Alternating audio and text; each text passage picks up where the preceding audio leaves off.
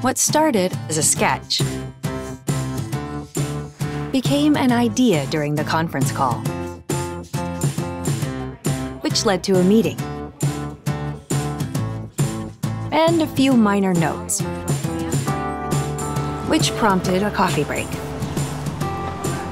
and inspired a new brainstorm session with some outside help, which finally led to the breakthrough that changed it all. One that was worth sharing with the office so that marketing, engineering, and sales could all sign off. And the whole team could come together to bring the plan to life. Introducing Smart Kapp, the dry erase board reinvented. Capture, save, share with Smart Kapp.